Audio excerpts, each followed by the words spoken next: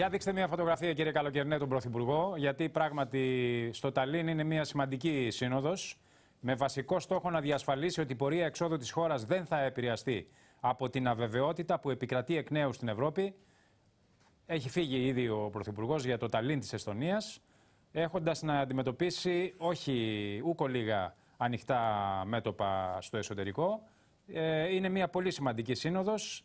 Ασφαλώς θα είναι το θέμα της αξιολόγησης πάνω στο τραπέζι, το Διεθνές Νομισματικό Ταμείο, το οποίο αλλάζει θέσεις πολύ πολύ γρήγορα ορισμένες φορές που αισθάνεται πίεση, όπως για παράδειγμα με το θέμα των τραπεζών. Τελικά ε, βγήκε ο Τόμσεν, σας είπα τι είπε, ότι δεν υπάρχει πρόβλημα με τις τράπεζες. Επίσης, δεχτήκανε να γίνουν τα stress test ε, των, των ελληνικών τραπεζών την ίδια ημερομηνία που θα γίνουν και με, με τις άλλες τράπεζες της Ευρωζώνης. Θα βγουν τα αποτελέσματα αρκετούς μήνες πριν τελειώσει το πρόγραμμα του 18, τον Αύγουστο του 18. Για να δούμε λοιπόν και θα έχουμε πολύ περισσότερα να σας πούμε αύριο φίλες και φίλοι ε, για, για τη σύνοδο στο Ταλίν της Εσθονίας. Υπάρχει ο Ρέγκλιν, ο Ρέγκλιν του ESM, ο επικεφαλής του ESM, ο οποίος λέει ότι είναι καλές οι πιθανότητες εξόδου από το μνημόνιο, λέει ο κύριος Ρέγκλιν. Ε, ήταν μετρημένος, έδωσε μία συνέντευξη, έκανε προσεκτικές διατυπώσεις, στέλνοντας το κλασικό μήνυμα τήρησης των συμφωνηθέντων και αφήνοντας να εννοηθεί, εδώ τον βλέπουμε τον κύριο Ρέγκλιν, ότι η εποπτεία στην Ελλάδα θα διαρκέσει πολλά χρόνια.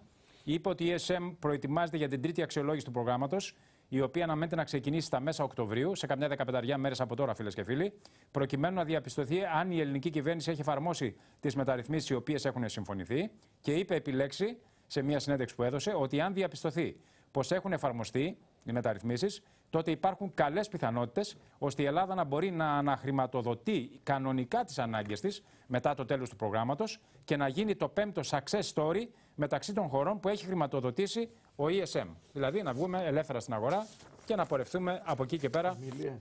Χωρίς μνημόνια, παρακαλώ. Υπάρχει στη δήλωση του Ρέγκλινγκ ένα ναι. πολύ σημαντικό σημείο, μια λεπτομέρεια, ναι, ναι. όπου διαφοροποιείται και από το Μοσκοβισί και από τον Ντάισελμπλουμ στο θέμα της επιτροπής και της εποπτείας. Ναι. Αν θυμάστε, θα, οι άλλοι δύο είπαν, ο Μοσκοβισή δηλαδή και Ντάισελμπλουμ, ότι θα υπάρχει μια αυστηρή επιτροπή μετά τη, λήψη, τη λήψη του προγράμματος, τη, τη λήξη του προγράμματος.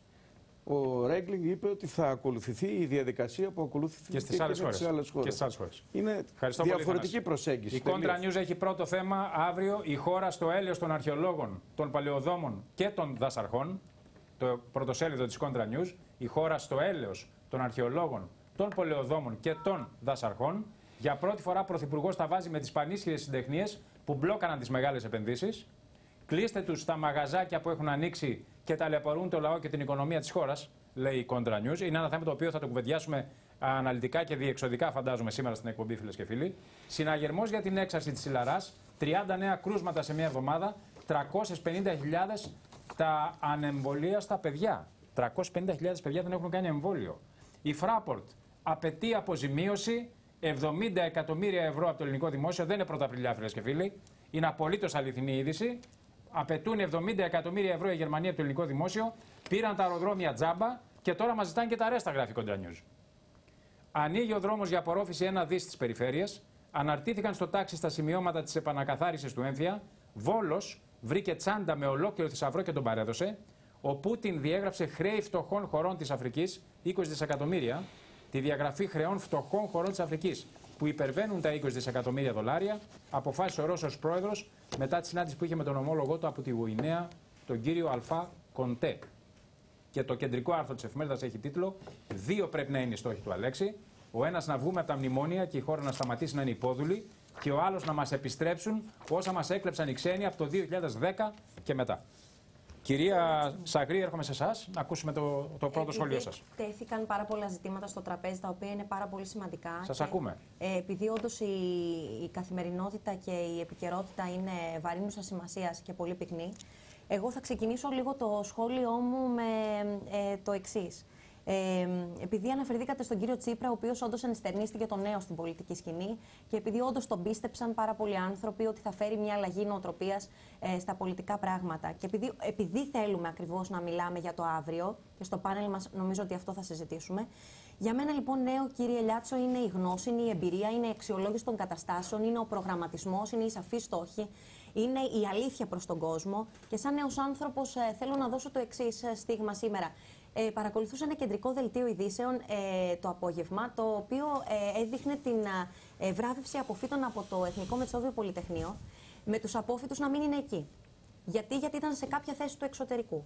Αυτό φυσικά δεν είναι κάτι που το λέω εγώ. Είναι κάτι που το βιώνουν όλες οι οικογένειες, είναι κάτι που το βιώνουν όλοι στη γενιά μου. Άνθρωποι οι οποίοι είναι μορφωμένοι, καλλιεργημένοι, που το ελληνικό κράτος έχει δώσει χρήματα για να τους μορφώσει. Συγκεκριμένα για να βγει ένας γιατρός ε, ε, και να σπουδάσει τα 7 χρόνια που πρέπει να σπουδάσει 84.000 ευρώ, χρειάζεται το ελληνικό κράτος και δαπανά για εκείνον. Και εκείνος πηγαίνει στη Γερμανία και κάνει την ειδικότητά του το επάγγελμά του. Ναι. Αυτό λοιπόν είναι πολύ μεγάλο ε, ε, πλήγμα για την κοινωνία μας. Και όταν μιλάμε για μια κοινωνία η οποία μαστίζεται από την ανεργία, εγώ πραγματικά λυπάμαι να ακούω τον κύριο Πουλάκη και όχι μόνο προσωπικά τον κύριο Πουλάκη και άλλους ε, ανθρώπους και στελέχη του ΣΥΡΙΖΑ να μιλάνε για στοιχεία της στατιστικής υπηρεσίας. Μπορεί οι αριθμοί σε κάποια σημεία να βελτιώνονται, αλλά όταν ευημερούν οι αριθμοί, κύριε Λιάτσο, πολλές φορές δυστυχούν οι άνθρωποι. Ναι. Και όταν μιλάμε για μείωση της ανεργίας, 6 στους 10 ανθρώπους που δουλεύουν με ευέλικτη μορφή εργασίας, αυτό ανήκει, ε, ε, εντάσσεται στην κατηγορία της στατιστικής υπηρεσίας. Λοιπόν, πρέπει να μιλάμε και να βλέπουμε την πραγματικότητα με όρους αλήθειας και να κοιτάζουμε τον κόσμο στα μάτια. Αυτό λοιπόν επίσης που θέλω να πω είναι ότι ε, Μίλησαμε για κόκκινα δάνεια, μιλήσαμε για την έντονη και δυσβάσταχτη φορολογία, στην οποία πάρα πολλοί κόσμος ε, το ε, Πασό τι θέση έχει τώρα που, που, λέτε κυρία Σαγρή, το, το, το Πασό για τα κόκκινα δάνεια έχει θέση; Καπερνάρο, ναι. γι' αυτό και θα ήθελα έτσι να το εντοπίσω. Ναι. Τόσο όσον αφορά τα ε, κόκκινα δάνεια, στις, στο, τα επαγγελματικά και τα επιχειρηματικά, όσο και τα στεγαστικά, το Πασόκ εδώ και δύο χρόνια ναι. κάνει ημερίδες συγκεκριμένες και καταθέτει συγκεκριμένες προτάσεις σε συνεργασία με τους αρμόδιους φορείς για την ελάφρυνση και για τη διευκόλυνση των ανθρώπων και για την αναδιάρθρωση των οφειλών. Να προηγούνται, βάση... να προηγούνται οι δανειολήπτες από τα φάντα. Ε, δεν το συζητάμε, κύριε Λιάτσο αυτό. Μάλιστα. Δεν το είστε σαφείς. Είναι βεβαίως, συγγνώμη, κύριε Λιάτσο, θα ολοκληρώσω και μετά. Δεν σας διέκοψα, με συγχωρείτε. Αν μου επιτρέπετε. Όχι, δεν σας επιτρέπω να ολοκληρώσω τη σκέψη. Δεν μου επιτρέπετε. Λοιπόν, ειδικά για τα κόκκινα δάνεια έχουμε συγκεκριμένα συγκεκριμένες θέσεις και προτάσεις εδώ και δύο χρόνια και στη συζήτηση η οποία τώρα θα ανοίξει και ε, λόγω της επερχόμενης εκλογής αρχηγού στην κέντρο αριστερά. Φυσικά θα τοποθετηθούμε θα γίνει η εκλογή στο ευρύτερο. 5-12 Νοεμβρίου ή πάμε για. Το βλέπουμε, το βλέπουμε. Νομίζω ότι δεν πρέπει πάντως να καθυστερήσει, διότι τα προβλήματα είναι κέρια, τα βλέπετε και νομίζω ότι η κέντρο αριστερά πρέπει και η Σοσιαλδημοκρατία να αρθρώσει λόγο σε αυτό. Για συνεχίστε τώρα για την οικονομία. Όσον αφορά ναι. λοιπόν ε, τη Δημοκρατική Συμπαράταξη και το ΠΑΣΟΚ, αυτό ήθελα να τονίσω ότι εκφράζει και συνεχώς το ανεβάζει σε όλους τους τόνους το ζήτημα των κόκκινων δανείων. Δεν το συζητάμε όσον αφορά ε, να προηγούνται οι δανειολήπτες ε, και μετά τα φαντς, ειδικά αυτοί που είναι καλοπληρωτές και αυτοί στους οποίους έτυχε κάτι πάρα πολύ δύσκολο και δεν μπορούν να ανταποκριθούν στις υποχρεώσεις τους, πρέπει να ρυθμίζονται οι οφειλές τους ή το ακίνητό του. Αυτό ξέρετε είναι πάρα πολύ εύκολη διαδικασία να το κάνουν οι τράπεζες. Δηλαδή, ένας άνθρωπος ο οποίος μέχρι το 10-12, σας λέω εγώ, πάρισαν οι συνέπειες να φαίνονται πολύ περισσότερο από τα μνημόνια, που ήταν καλοπληρωτής πριν, πλήρωνε κανονικά τις δόσεις του κτλ. Είναι πολύ εύκολο η τράπεζα να το βρει. βρει. Ποιος ήταν καλοπληρωτής και ποιος είναι κακοπληρωτή. Να εντοπίσει τους καλοπληρωτές και τους κακοπληρωτές. Αλλά όμως να έχει τη δυνατότητα ο, κακοπληρωτή, ο καλοπληρωτής, με συγχωρείτε, να ρυθμίσει τις οφειλές του και επίσης να αγοράσει το δάνειό του.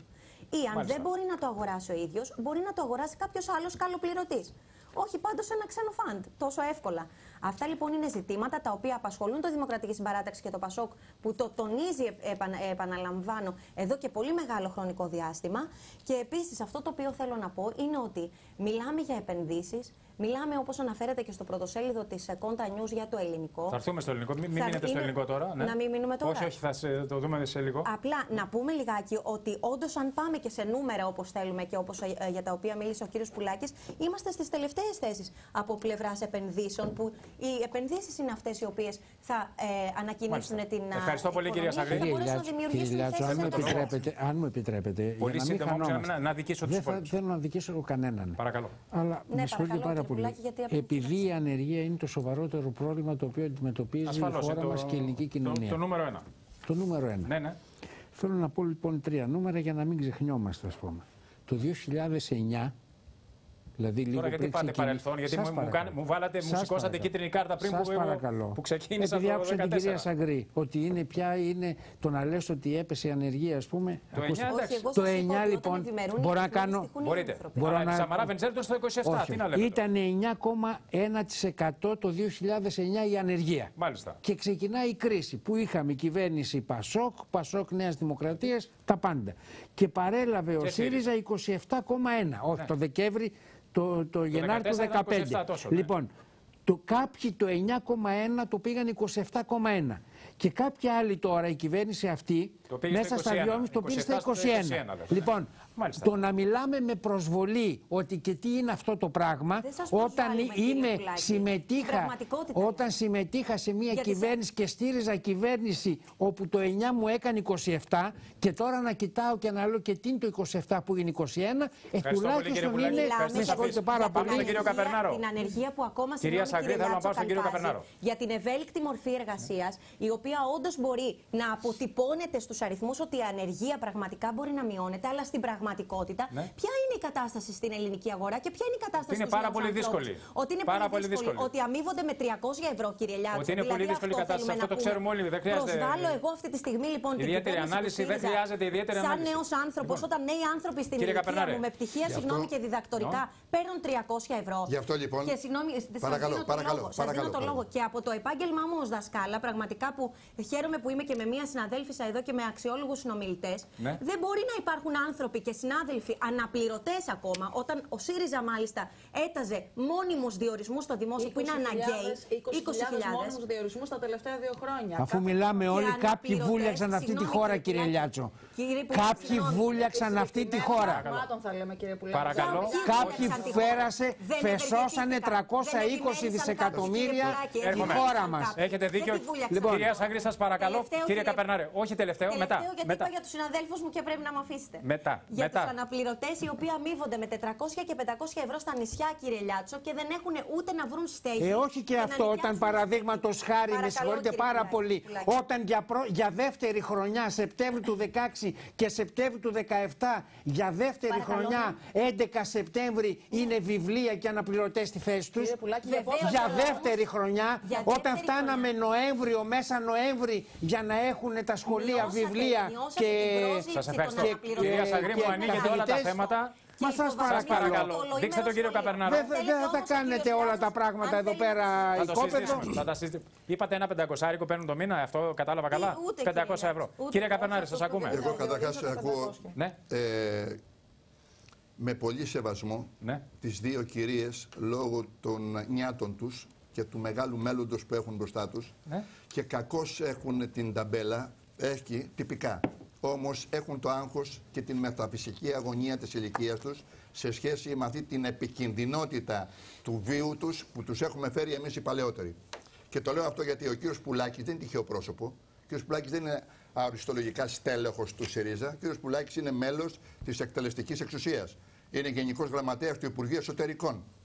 Το είναι ένα από τα πέντε πρώτα τη τάξη Υπουργεία. Συνεπώς, ο κύριος Πουλάκης θα τα ακούει αυτά και θα ακούσει από μένα, πέρα από τα κόμματα και τα χρώματα που τους αρέσει να, να χωρίζουν τον κόσμο, ότι εγώ προσωπώ πάνω από το 50% των Ελλήνων όπου δεν πήγαν να ψηφίσουν, είναι της αποχής ή ψήφισαν άκυρα λευκά ή τα κόμματα που ψήφισαν δεν αντιπροσωπεύονται στη Βουλή. Αυτοί δεν έχουν λόγο. Αυτοί δεν έχουν απέτηση. Αυτοί δεν, έχουν, δεν είναι Έλληνες όταν η κυβέρνηση υποτίθεται σύμφωνα με το Σύνταγμα είναι κυβέρνηση όλων των Ελλήνων. Γιατί δεν είναι κυβέρνηση του ΣΥΡΙΖΑ; Δεν είναι κυβέρνηση του ΣΥΡΙΖΑ; Γιατί δεν κουβαλάτε τις ιδεολειψίες του ΣΥΡΙΖΑ; Με ποιο τρόπο βγαίνετε και λέτε ότι εκπροσωπείτε το 50%. Είμαι εγώ ένας από αυτούς. Ψήφισα άκυρο λευκό. Το ότι είσαστε ένας από αυτούς δεν σημαίνει ότι εκπροσωπείτε και τους είπατε, Προηγουμένως όμως είπατε, είπατε. Μα σας παρακαλώ. Είπατε προηγουμένω. Όχι με την έννοια που λέτε εσείς ότι δεν εκπροσωπούμε από κόμμα. Γιατί σε ένα νέο άνθρωπο επιτεθήκατε ότι εσείς κάνατε αυτά. Επειδή δήλωσε Πασόκ. Είναι νέο παιδί που δεν έχει καμία συμμετοχή τι έκανε το παλιό Πασόκ ή η παλιά Νέα Δημοκρατία. Και έχουν δικαίωμα να ανήκουν κάπου. Εγώ λέω εσείς τώρα που διακυβερνάτε και επιχειρηματολογήσατε προηγουμένως ως δικαιολογία και όχι ως επιχείρημα, ούτε ως απόδειξη, να μας πείτε το πρώτο εξάμεινο τι έγινε. Δεν ήταν ΣΥΡΙΖΑ το πρώτο εξάμεινο. Το πρώτο εξάμεινο δηλαδή που απεμπολίσατε το 3% του πραγματικού ΣΥΡΙΖΑ, που κάνατε εκλογές γι' αυτό. Οι αόρατες εκλογές είναι το Σεπτέμβριο του 2015. δεν υπέγραψε. Αόρατες εκλογές είναι το Σεπτέμβριο του 2015. Δεν υπάρχει θέληση και βούληση του ελληνικού λαού. Είπατε δεν διακόπτεται. Ακούστε με λοιπόν. Το Φεβρουάριο τους 20 Φεβρουαρίου του 2015 ο Υπουργός, ο κύριος Βαρουφάκης, εκλεγμένος και όχι διορισμένος σαν τον κύριο Παπαδημητρίου ή τον κύριο Κουλιαράκη, και πρώτος στη Β' Αθηνών, με, πολύ, με, με δάφνες τον φέρατε, υπέγραψε 20 Φεβρουαρίου τα πάντα, ότι είχαν υπογράψει άλλοι. Ότι θα συνεχίσουν, αναδέχτηκε τα πάντα και θα συνεχίσουν να κάνει τα πάντα. Θα κάνει τα πάντα ως κυβέρνηση. 20 Φεβρουαρίου του 2015. Έγινε ε, το δημοψήφισμα τον Ιούλιο. Τι κάνατε, δεν είπε ο, ο κύριος Τσίπρας ότι δώστε μου το όχι να ανοίξω στις τράπεζες και κλείσατε τις τράπεζες. Δεν το θυμόσαστε δεν καθόλου κύριε Καπενάρο. Δικά σας είναι αυτά. Ορίστε. Δικά σας άμα εδώ πέρα άμα θέλετε βάλτε το διάγγελμα για ποιο λόγο ζήτησε την ψήφο ο του κύριε, όχι ο κύριος Δεν μου λέτε σε αυτό που είπατε νωρίτερα. Ήταν μια πρόταση του Συγγνώμη κύριε, συγγνώμη κύριε. Και το, επειδή είπατε ανακριβή. Να κοιτάξουμε μπροστά κύριε Καπενάρα. Ναι, να κοιτάξουμε μπροστά. Όχι, να αφηγήσουμε στον κόσμο γιατί βρήκαμε το πείμα. είμαστε σε κρίσιμη φάση. Ναι κύριε Λιάψο, το πούμε. Ας κοιτάξουμε λίγο Το θέμα είναι το εξής, ξέρετε τι λέτε. Έγιναν οι εκλογές το Σεπτέμβριο, ψήφισαν οι Έλληνες, άρα οι Έλληνες είναι συνυπεύθυνοι. Αυτό μας λένε. Όχι, δεν λέω αυτό. Λέω το ότι έχουμε εκλογές το Σεπτέμβριο του 2015. Κύριε, το Σεπτέμβριο, εν ώψη των εκλογών του Σεπτεμβρίου του 2015, βγήκε ο Τσίπρας και είπε ότι ξέρετε τώρα από τις εκλογές αυτές και μετά εγώ δεν θα το καταργήσω τον έμφυα. Έτσι είπε. Είπε ότι θα διαχειριστώ. Έτσι είπε. Έτσι είπε. Ότι, ναι, είπε ότι θα διαχειριστώ. Σας παρακαλώ κύριε Καπερνάρο. Πάμε Σας λοιπόν... παρακαλώ. Λοιπόν, είπαμε το Σεπτέμβριο του 2015 ότι εμείς αυτό που συμβιβαστήκαμε θέλουμε να την μας πείτε Ο αν κύριος πρέπει να σας είπε για τον έμφυα. Σας είπε για τον λοιπόν, έμφυα. Αφήστε τις αοριστολογίες. Για τον έμφυα σας είπε. Είπε ο Τσίπρας ότι ξέρετε, αν θα βγω ή αφού βγήκε, θα, δεν θα καταργήσω τον έμφυα. Μέσα δηλαδή ακύρωσε το προηγούμενο που είπε θα το καταργήσω. Μέσα και πάμε σε αυτό. για να ολοκληρώσουμε τώρα. Μάλλον δεν έχετε Κοιτάξτε. διαβάσει το τρίτο μνημόνιο. Κύριε Καλοκαιρινή, αν έχετε την καλοσύνη. Δεν το έχετε διαβάσει. Με τα πρόσωπα που έχετε την ώρα που μιλάει ένας ομιλητής. Εγώ δεν ψήφισα μνημόνια και δεν υποχρεώμαι να το διαβάσω, ναι. διότι δεν ψήφισα μνημόνια ως βουλευτής. Και δεν τα ψήφισα και σήμερα. Παρακαλώ. Και δεν τα ψήφισα και σήμερα. Εσείς έχετε πέσει στα 50. Όχι στα 14, στα 54. Παρακαλώ κύριε Να μιλήσω για την ανεργία και τελειώνω. Ό,τι θέλετε πείτε. Για, για την οικονομία μιλάμε για, για την οικονομία και την ανεργία. Και, και εδώ σε όποιον αρέσει και σε όποιον δεν αρέσει από τα κόμματα, για την καθημερινότητα θα είναι κύριο... το κεντρικό θέμα της εκπομπής. Τελεία και παύλα. Λέει ο κύριος Πουλάκης. Τελεία και παύλα. 280.000 με το θέμα της ανεργίας. Ναι. 500.000 και παραπάνω έχουν φύγει στο εξωτερικό. 500.000 δεν φύγανε τελευταία διετία όλοι στο εξωτερικό. Αυτά δεν λαμβάνουν υπόψη. Δηλαδή στην προηγούμενη κυβέρνηση δεν φύγανε; Βεβαίως. Ναι. Αλλά όμως εδώ έχουμε να κάνουμε μια κυβέρνηση για προκαλέσω. Να διαβάσω κάτι και να απαντήσετε. Ναι. Ακούστε, σας δίνω έτσι. Όχι, πριν διαβάσετε, Παρα... να απαντήσετε κι εσείς αυτό. Θα απαντήσω ε, κι εγώ. Επειδή είστε πολύ ενημερωμένος σε Παρακαλώ κύριε Καπενάρη, πείτε. Ποιο, πότε θα φύγουν τα capital controls και εμένα αυτό που ρωτάτε, ο Εμένα ρωτάτε. Ρωτήστε την, Κατσέ, την κυρία Κατσέλη, τον κύριο Τσακαλώτο και τον κύριο Τσίπρα. Όχι, εκπρόσωπος κυβέρνησης είναι εδώ. Δεν ξέρω, ο κύριος Πουλάκη δεν ασχολείται με τα ε, οικονομικά. Δεν ασχολείται με τα οικονομικά. Εκτός αν ξέρει. Εκτός αν ξέρει να μας πει. Εντάξει, γενικός γραμματέας. Ακούστε τώρα, ακούστε τώρα τι λέει ο φίλος μας ο κύριος Νίκος που έστειλε mail και τον ευχαριστώ όπως όλους που στέλνετε κάθε βράδυ εκατοντάδες mail και μηνύματα. Λέει Πασό και Νέα Δημοκρατία έφεραν εκατομμύρια πολίτες στα όρια της φτώχειας στη διάλυση των οικοκυριών. Και 7 χρόνια ζουν τη σκληρή πραγματικότητα, την ανεργία. Επίσης το ΣΥΡΙΖΑ λέει, γιατί έδωσε ψεύτικες ελπίδες στον κόσμο. Και αύριο να αρχίσουν οι μεγάλες επενδύσεις. Χρειάζονται αρκετά χρόνια να αποδώσουν ε, αυτά, μέχρι που να ελοποιηθούν οι επενδύσεις. Πώς θα ζήσει αυτός ο λαός; Χωρίς δουλειές και με τόσες φορολογίες. Μην με δείχνετε εμένα, δείξτε το τριπλό. Μια χαρά, κύριε Καλοκαιρινέ. Ακούτε τι λέει ο άνθρωπος; Μάλιστα. τον ακούσατε με προσοχή; Απόλυτα. Εγώ όταν τα μελετώ πριν τα διαβάσω Έτσι. τα μηνύματα, όσο προλαβαίνω, διότι ο, ο, ο κόσμος, οι πολίτες, έχουν σοφία μέσα τους. Και με δύο-τρεις προτάσεις περιγράφουν όλη την κατάσταση. Έτσι είναι. Καταλάβατε; Και, και ζητούν λύση. Η λύση υπάρχει. Έτσι πείτε. Βγήκε κάποιος να πει ότι κύριε θα γίνει αυτό. Α πούμε το παράδειγμα τα φάντ. Βγαίνει κάποιος, ένας υπουργός λέει έτσι, ότι το λέτε εσείς. Εγώ δεν άκουσα τον Τσακαλά, το υπάρχει. Το, το λέτε εσείς. Δηλαδή, κύριε Λιάτσο, το λέτε εσείς, το δέχομαι. Με αμφισβητείτε ότι Καθόλου, αφού το δέχομαι, λέω. Θα σας πω ψέματα, δηλαδή τι. Λέω ότι το δέχομαι. Ναι. Επειδή το λέτε εσείς, το δέχομαι. Ο άλλος λέει όμως όχι στα φάντ. Είναι δυνατόν Ο άλλος θα πάει σπίτι του άμα δεν μπορεί. Δεν πάει όμως. Άμα δεν μπορεί ο άλλος και έχει να μένει στις Ηνωμένες Πολιτείες Αμερικής, ας πάει σπίτι του. Ποιος θα τον στείλει; Και από ό,τι ξέρω, έχει και πορτοφόλι γεμάτο. Οπότε να μην συζητάμε τώρα. Κύριε Λιάσου, δεν πρόκειται μην να συζητάμε. ποτέ κανένα. Θα δούμε αν θα φύγει. Και θα δούμε αν θα φύγει. Εγώ θα ρωτήσω τον κύριο Πουλάκη αν θα γίνει ανασχηματισμός ως Ονούπο. Θα ρωτήσω τον κύριο Πουλάκη σε λίγο αν θα γίνει ανασχηματισμός ως Ονούπο και αν εκτιμάει ο κύριος Πουλάκης ότι είναι ανάγκη να γίνει διόρθωση σε αυτή την κυβέρνηση. Σε ορισμένα ποστά μας τα πει ο κ. Πουλάκης.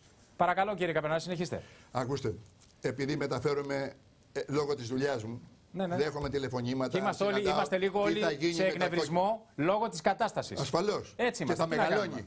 Και πάμε σε διχασμό. Ε, σε διχασμό και δεν, πάμε δεν σε διαίρεση. Βεβαίως. Δεν, δεν, θα πάμε σε διχασμό. Βεβαίως, διότι όταν δεν υπάρχει, έχει διαλυθεί ο κοινωνικός ιστό και όταν δεν υπάρχει Τα παιδιά αρχή... μας και η νέα γενιά, εσείς έχετε τρία, ακούστε, δύο παιδιά, ακούστε, τρία παιδιά, μορφωμένα παιδιά. Ακούστε, ακούστε, λοιπόν, ακούστε, το, μέλλον, το, το, μέλλον είναι τα παιδιά μας. Αρχή... Με διχασμού δεν γίνεται να προχωρήσει η Ελλάδα. Ακούστε με, ακούστε με. Ε, δεν γίνεται. Όταν πας στην κυβέρνηση, πας σε αυτούς που κυβερνάνε, τους υπεύθυνους και τους λες τι θα κάνω, γιατί ναι. κινδυνεύει το σπίτι μου, κινδυνεύει η οικογένειά μου, θέλω να μου δώσετε λύση. Και δεν σου δίνουν λύση, τότε χάνεται η αρχή, εξαφανίζεται η αρχή της αμοιβαίας εμπιστοσύνης μεταξύ διοίκησης και διοικητή. Άμα δεν κάνει ο ΣΥΡΙΖΑ θα πάει σπίτι του και θα έρθουν οι επόμενοι. Δημοκρατία Όπως σημαίνει... έφυγε ο Σαμαράς με τον Βενιζέλο. Αυτή είναι η δημοκρατία. Αυτό Όχι, δεν είναι αυτή η δημοκρατία. Και τι κάνουμε; Δημοκρατία είναι πάω, πάω στο αρμόδιο όργανο να μου λύσει το πρόβλημα και πρέπει να μου το λύσει, διότι αυτή είναι η δουλειά του. Μάλιστα. Δεν είναι δυνατόν να πάω και να του λέω: Ξέρεις τι, εάν πουλήσει σε μένα το σπίτι 20.000 ευρώ, δεν τα έχω. Θα κόψω το λαιμό μου να βρω 21 να σου δώσω. Δώστε μου εμένα Σωστό. και μην το δίνεις στον τυχοδιώκτη που θα έρθει μετά και θα σου ζητάει. Έχει μαλλιάσει η γλώσσα μας εδώ κάθε βράδυ αυτό λέω. Και τι δεν το κάνουν. Εγώ τι δεν είμαστε Καταλάβατε. Κυβέρνηση. Ερώτηση που βάλουμε. Είναι γενικός γραμματέας του Υπουργείου Ιστορικών. Δεν μπορεί να ρωτήσει. Πιστεύετε ότι δεν καταλαβαίνει τώρα ο κ. Πουλάκης, έχετε την εντύπωση; Ναι, αλλά όταν καταλαβαίνει, βγαίνει ο κ. Πουλάκης ως υπεύθυνος άνθρωπος και λέει: Εγώ παίρνω αυτή τη θέση. Όπως είπατε και το βουλευτή προχτές που έθεσε θέμα και να δούμε τι θα γίνει το, δεύτερο, το, το, το δεύτερο βήμα για τον uh, Τριανταφυλλίδη. Ναι, το έθεσε ο άνθρωπος. Μπράβο. Ο Τριανταφυλλίδης όμως θα το περάσουν αυτό είναι βουλευτής του ΣΥΡΙΖΑ, ξέρετε. ξέρετε πόσοι Δεν βουλευτές, είναι Ξέρετε πόσοι βουλευτές το λένε και μετά πάνε και ψηφίζουν. Μα ψήφισε ήδη. Δεν τους έζησα. Δεν τα, ζήσαν, δεν τα ψήφισαν όλα. Δεν τα ψήφισαν όλα. Δεν πέρασαν τα μνημόνια όλα. Τώρα δεν θα περάσουν όλα. Τι λέτε τώρα; Όλα θα περάσουν. Δεν είπαμε ότι οι βουλευτές λένε και ξελένε. Δεν είπαμε ότι είναι αθήρματα. Δεν είπαμε ότι δεν υπάρχουν προσωπικότητες. Δεν έπρεπε να ξηγερθούν όλοι, εγώ, όλοι οι βουλευτές. Εγώ δεν κάνω χαρακτηρισμούς. Εγώ κάνω. Γιατί έχω ζήσει. Εγώ χαρακτηρισμούς δεν κάνω. Ακούστε. Ε, εγώ ξέρετε πότε θα κάνω χαρακτηρισμό; Όταν δω κάποιον να τα παίρνει. Όχι, όταν, δεν αυτό. Όταν δω κάποιον να τα πιάνει, τότε θα, θα κρεμαστεί κανονικά. Από την εκπομπή εντός εισαγωγικών είναι πάντα έλεξη. Ερώτημα. Όταν, όταν τα βλέπετε κάποιον και τα παίρνει και δεν τον καταγγέλλετε; Ή όταν βλέπει πρωθυπουργός να γίνεται της κακομήρα, να μην πω τίποτα άλλο, δίπλα του από υπουργούς του και να μην καταλαβαίνει τίποτα. Λέγε με Κώστα Σιμίτη. Λέγε με Κώστα Σιμίτη. Ακούστε, Δεν είχε πάρει χαμπάρι τι κάνει ο Τσοκατζόπουλος, ο Παπαντονίου και οι λοιπές προοδευτικές δυνάμεις. Με συγχωρείτε. Κύριε Λιάτσο, κανείς δεν υπονοεί και δεν εννοεί ότι τα παίρνουν αυτοί. Κανείς δεν λέει. από τους κυβερνώντες. Δεν έχω ακούσει και αυτό που είπατε, Έχω ακούσει ναι. να, να, να, κάνουν κριτική στο, στο Τσίπρα κτλ. Αλλά δεν έχω ακούσει να λένε για αυτή την κυβέρνηση ότι είναι κανένας αργυρώνητος υπουργός. Κύριε Λιάτσο, δεν το έχω ακούσει. Παρότι ξέρω ότι τους ψάχνουν και πολύ. Να μιλήσω για τους βουλευτές. Πείτε άλλο βουλευτές, άλλο κυβέρνηση. Άλλο βουλευτές, άλλο κυβέρνηση. Επειδή υπήρξα βουλευτής και επειδή ξέρω την οτροπία, ο βουλευτής έχει υποχρέωση, είναι εκπρόσωπος του έθνους καταρχήν, είναι του κόμματος, ούτε της κάρεκλα. Έτσι είναι το Σύνταγμα. Ή σέβεσαι τον εαυτό σου και το Σύνταγμα, Σύμφωνα. ή δεν σέβεσαι το Σύνταγμα και τον εαυτό σου. Άρα λοιπόν ο βουλευτής πρέπει να κάνει τον καθρέφτη του και να πει τι ρόλο παίζει. Δεν μπορεί τη μία να, αντι, να αντιφάσκει, να, αντίθεται, να αντιτίθεται για να για αντιγνωμεί και μετά να πάει και το ψηφίσει. Μάλιστα. Τι προσδοκάει ο ελληνικός λαός; Και σας λέω και το εξής: Σε αυτές τις περιπτώσεις δεν είναι μόνο του κόμματος ή του μη κόμματος της αντιπολίτευσης ή της συμπολίτευσης. Είναι εθνικό. Δηλαδή το σπίτι του Λιτσογιάννη είναι μπλε, το δικό μου είναι κόκκινο, πράσινο, καφέ. Τα παιδιά μας δηλαδή έχουν χρώματα. Αν πεταχτεί τα παιδιά του στον δρόμο ή τα παιδιά μου στον δρόμο, έχει σημασία αν είμαστε σε διαφορετικά κόμματα. Ευχαριστώ πάρα πολύ, κύριε Εγώ ευχαριστώ. Κύριε Κάντα, δώστε Μπορώ να κάνω ένα σχόλιο σε αυτό, συγγνώμη αν Πολύ σύντομο, γιατί θα πάω σε διαφημίσεις. Ναι. Ε, κύριε Κάντα, μετά το διαφημιστικό έχετε το λόγο. Μιλήσαμε για το διχασμό. Ποιος έβαλε αυτό τον αυτοματισμό στην ελληνική κυβέρνηση και ποιος έλεγε στην ελληνική κοινωνία ή εμείς ή αυτοί. Ή το του τελειώνουμε ή μας τελειώνουν; Ποιος έχει αυτή τη στιγμή καλλιεργήσει αυτά, αυτά, αυτά τα σπόρια, αν θέλετε, του διχασμού στην ελληνική, στην ελληνική κοινωνία; Ποιος έχει διχάσει κατά τη διάρκεια του δημοψηφίσματος τόσο πολύ την ελληνική κοινωνία, έτσι ώστε μέσα στις ίδιες οικογένειες να μαλώνουν, να αναφέρονται ένας στον άλλον με σκαιότατου ε, χαρακτηρισμούς; Ποιος έλεγε εν τέλει αυτό το ή εμείς ή εσείς; Γιατί πραγματικά ξέρετε, καμιά φορά εξανίσταμε για να μιλάμε για τη συνένεση και ζητούν συνένεση και δίνουμε συνένεση σε πολλά πράγματα. Αυτοί οι οποίοι δίχασαν τον ελληνικό λαό με το χειρότερο τρόπο. Συγγνώμη που διακόπτω, αλλά ξέρετε, Παρακαλώ, κυρία τα ρούχα μου. Γιατί Παρακαλώ. Ευχαριστώ πολύ. Έτσι είναι. Και, και Πάντως, όσο και νέοι, κύριε Καπερνάρο, να είναι οι εκπρόσωποι εδώ πέρα του παλαιού ε, δικοματισμού, από τη στιγμή που εκπροσωπείς ένα κόμμα, εκπροσωπείς και την ιστορία του και την πολιτική και του. Το μέλλον όλα τα χρόνια. Και, και μπορεί να διαφωνούν. Λοιπόν, μπορεί να διαφωνούν. τα πάντα. Και επειδή ακούω εδώ πέρα, με συγχωρείτε, σας παρακαλώ. Και επειδή εδώ πέρα ακούω την κυρία Ζαχαράκη, λοιπόν, εγώ σας λέω το εξής: το ότι εκπροσωπείτε ένα χώρο, πολιτικό χώρο, ο οποίος μας έχει κατά 50% καταστρέψει και μας έχει φέρει εδώ πέρα. Λοιπόν, Πουλάκη, αν εσείς. κάτι, θα πρέπει να του στοιχειοθετείτε. Και ότι όχι όταν κάποιος πιέζεται να πετάει την μπάλα συνέχεια στην κερκίδα. Δεν την πετάω. Σας λέω λοιπόν. Τα 40 χρόνια της διακυβέρνηση. Σαφέστατα. Εσείς λοιπόν θέλετε. Γκρεμίζατε 40 χρόνια. Κάνατε πάρτι 40 χρόνια. Γεμίζατε ό,τι γεμίζατε 40 χρόνια και δημιουργήσατε όλο αυτό που δημιουργήσατε. Και θέλετε μέσα σε δύο χρόνια ναι. να έρθουν και να διορθωθούν όλα. Θα Λοιπόν, αλλά τον Αύγουστο του 18 κυρία Ζαχαράκη, θα είναι αυτή η ναι. κυβέρνηση ΣΥΡΙΖΑ ΝΕΛ που θα μας έχει βγάλει από τα μνημόνια. Συγγνώμη που σας το θυμίζω, το κύριε Πουλάκη, συγγνώμη που σας το θυμίζω, αλλά έχετε υπογράψει το επέσχυντο άρθρο 15 στην τελευταία αξιολόγηση, λοιπόν. την τρίτη αξιολόγηση, που σημαίνει ότι ό,τι και να θέλετε να κάνετε μετά το 19, πρέπει να ρωτήσετε την τριλογία, πρέπει να ρωτήσετε δηλαδή τους θεσμούς, αν θα δώσετε αυτό το έξτρα επίδομα ή οτιδήποτε θέλετε να δώσετε από το υπερπλεόνασμα πάνω από 3,5%. Όταν λοιπόν μιλάτε για την καθαρή έξοδο, να θυμάστε ότι έχετε υπογράψει 5,1 δις μέτρα για το 19 και το 20. Από εκεί και πέρα τελειώνει η κουβέντα και υψηλά πλεονάσματα ναι. για ακόμη Θα τα πούμε μετά τις διαφημίσει. Έχουμε χρόνο. Αυτό που δεν χωνεύεται με τίποτα σήμερα πάντως, πέρα από την αντιπαράθεση που γίνεται αυτή τη στιγμή στην εκπομπή με τις ανταλλαγές απόψεων και θέσεων, είναι αυτό που μας ήρθε ως ρουκέτα, θα έλεγα, μεγατόνων από τη Γερμανία. Γιατί είναι, η, Γερμανική, η Fraport είναι γερμανική εταιρεία. Η Fraport είναι γερμανική εταιρεία, του δημοσίου δηλαδή εταιρεία, η οποία ζητάει αποζημίωση 70 εκατομμύρια ευρώ από την Ελλάδα για τα 14 περιφερειακά αεροδρόμια. Το αποκαλύπτει συγκλονιστικό δημοσίευμα του Σπίγκελ, φίλε και φίλοι, ότι λέει ότι λόγω των κακοτεχνιών που εντόπισε ο ειδικός της εταιρείας στα αεροδρόμια, πρόκειται να ζητήσει από το ελληνικό δημόσιο 70 εκατομμύρια ευρώ. Είναι απίστευτο, γιατί λέει είναι κακή η κατάσταση στα ελληνικά αεροδρόμια. Ζητάει λοιπόν τα ρέστα από εμά για την εικόνα που φέρνουν τα 14 περιφερειακά αεροδρόμια τα οποία τα πήραν τζάμπα. Άρα με τη τα σύμβα... πήρανε τζα... τζάμπα τα πήραν τα αεροδρόμια. Αν του δώσαμε το δικαίωμα, συγγνώμη, αν τους δώσαμε το, το δικαίωμα ε; με τη σύμβαση, γιατί να μην το κάνουμε; Έχετε δίκιο. Διαφημίσεις δύο λεπτών.